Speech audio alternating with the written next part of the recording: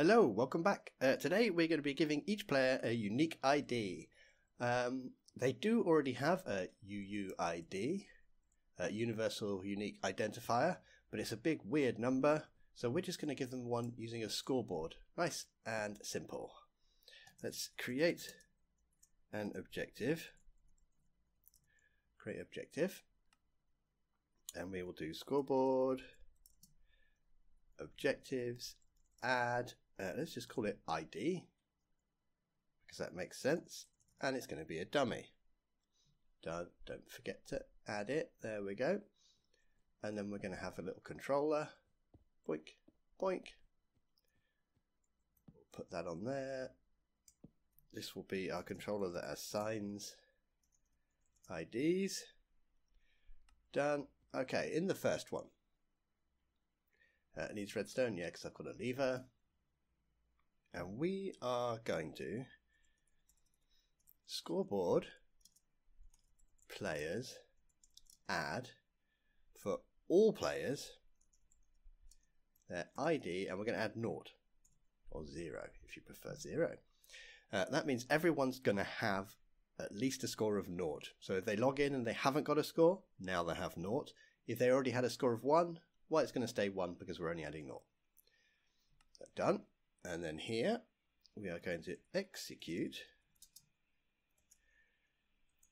at, and we'll just do the nearest player whose scores equals id equals naught.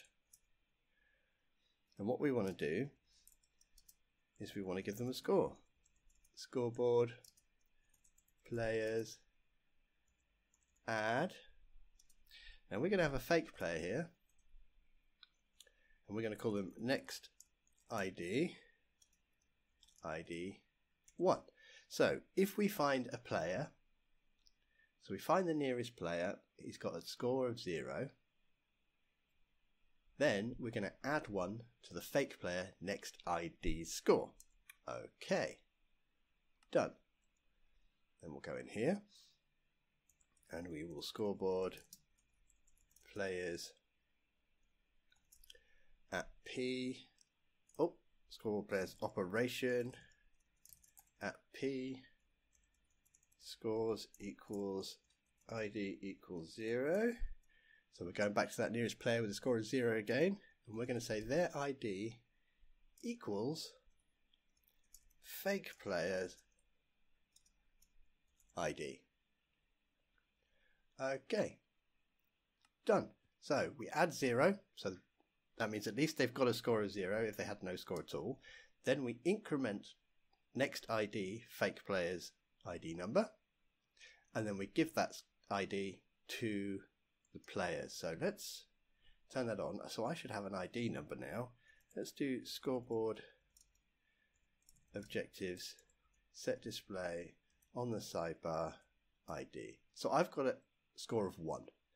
Now that next person that logs in should get a score of 2. So I can simulate that. If I reset my score,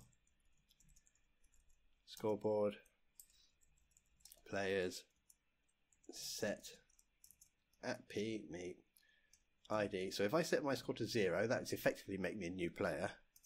I then get 2, and then someone else logs in, they get 3, someone else logs in, they get 4, and so on and so on and so on. There we go. So we've given each player their own little number.